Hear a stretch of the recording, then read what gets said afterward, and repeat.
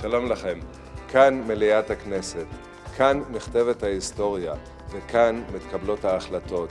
קטנות, גדולות, הכל כאן. כולן נוגעות לכל אחד מאיתנו.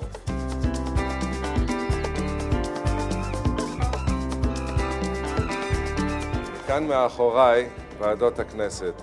בחדרים האלה ממש מתבצעת הפעילות האמיתית.